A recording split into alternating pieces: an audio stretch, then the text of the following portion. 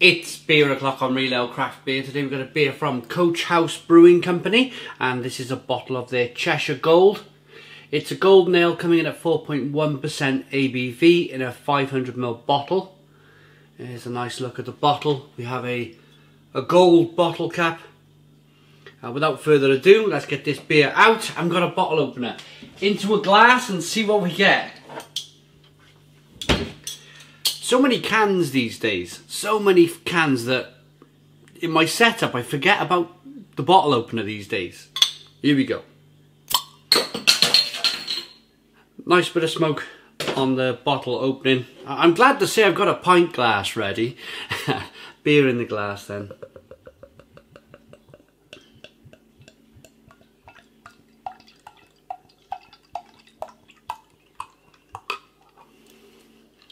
Might be a bottle conditioned ale so we'll spin that up a little bit and yeah it, it looks like an unfiltered uh, bottle conditioned ale. You can see the sediment there fall into the bottom of the glass.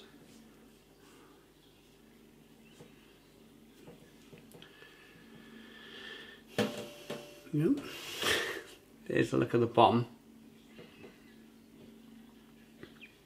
Hazy looking brew real hazy looking brew. It is, I've got it out the fridge, but it's about, I'd say it feels, uh, I'm no expert when it comes to actual temperature, but my fridge says five degrees. It's been out of the fridge about half an hour. So I'd like to think about seven, eight degrees we're going to be reviewing this beer at, which is a really good temperature. Um, it's a it's a hazy golden amber coloured ale. Um, quite foggy. Uh, let's get the aroma then. Mmm. Lovely toffee malts coming through. Biscuity, bready. Oh, that smells really good. But hoppy at the same time.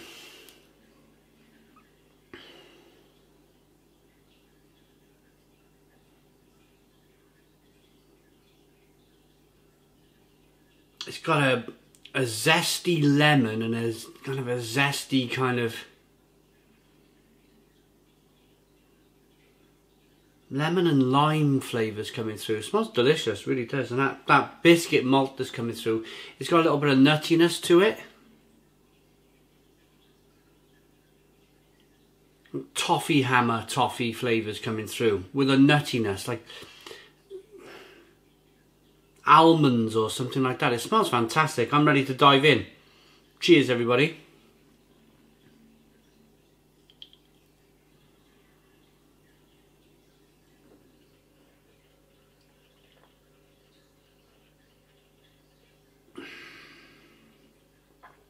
Mmm. Oh yeah, very nice. Very nice. I'd say more of a, rather than a golden ale, I'm picking up flavours of licorice, biscuitiness, breadiness. For me, this is more, this is a more good, solid, good quality kind of English best bitter, premium ale, if you like, rather than golden ale. I think in terms of golden ale, I think you're looking for something a little bit hoppier.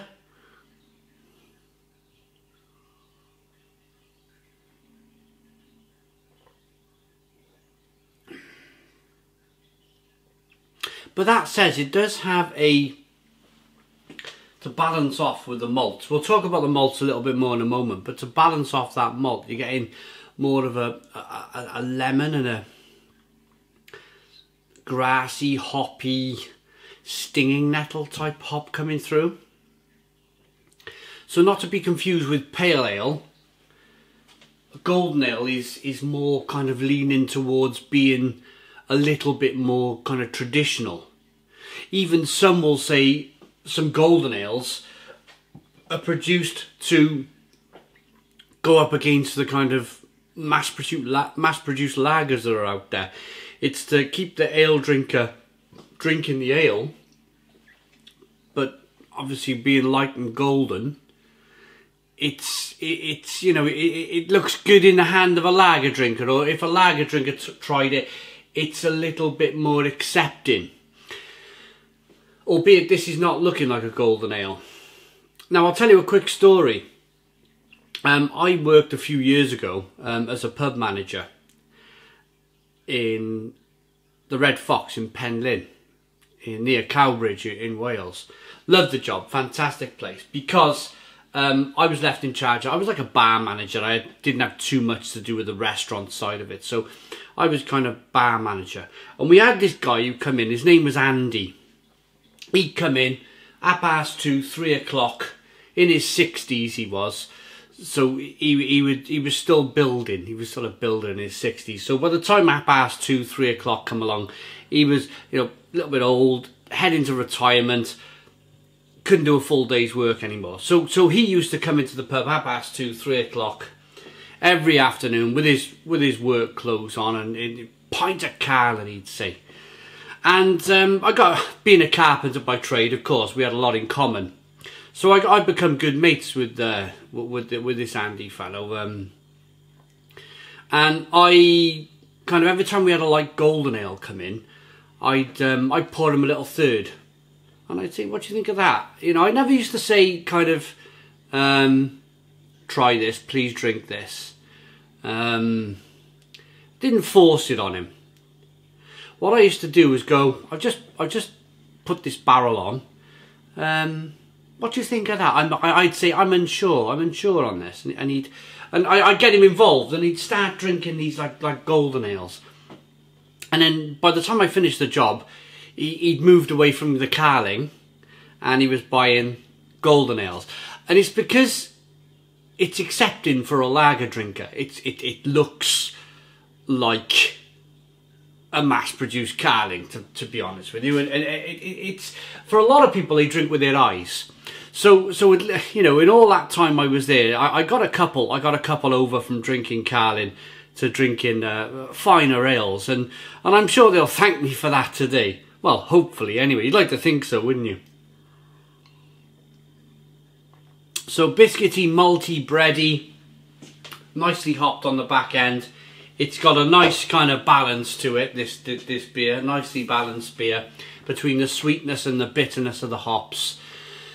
It's a really good beer, actually. It's a really good beer. I'm just unsure about it being called a golden ale. I would prefer this to be called a premium ale because it, it, tastes like a premium ale. It's got more biscuity and bready and nutty, nutty notes to it rather than a lighter golden ale. But it's really good. I like it. A wonderful golden beer with a fresh citrus hop aroma and a refreshing pine lemon crispness. An easy drink and a thirst quenching beer that is perfect for all occasions, whether on its own or with your favourite meal. Best served chilled below 12 degrees. There we go. Hops, malted barley, yeast and water. Yeah, Coach House, Coach House Brewery. Coach House Brewing Company. Yeah, I mean, this is my first beer from them. And I'm, I'm quite happy with it. Quite happy with it. It's a decent beer. I like it enough to give it a 7 out of 10. A 7 out of 10 from Real Craft Beer. Please put your comments in the comments box. Subscribe to our daily beer and food reviews. Give us a big fat thumbs up. Boom! Cheers.